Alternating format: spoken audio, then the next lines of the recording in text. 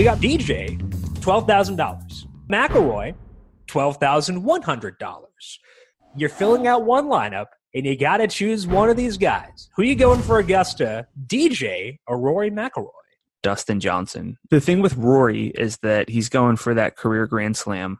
It just seems like the, the pressure is there for Rory, and it's not necessarily there for Dustin Johnson. Dustin Johnson's sort of flying under the radar. He has what it takes to to perform well at Augusta. He has a tenth last year, a fourth and a sixth before that. So I think really, if it comes down to it, and I'm picking just one, I'm gonna go DJ a little bit yeah. more often than Rory. What about I you? Think I would lean the same way because you look at Rory's really good finishes. It's been fueled by him figuring out how to putt. It seems, and we don't know whether that's sustainable. But the longer term, you know, you talk about the longer form for DJ, he has been better and I think that to me, that makes me side with Dustin Johnson. Over the past 50 rounds per Fantasy National, DJ fourth in the field in distance, third in approach. McIlroy does lead in distance, but he is 18th in approach. And if I'm going to bet on someone, you know, ride with one guy in my lineup, I think I'd rather go with the guy who grades out better in approach. So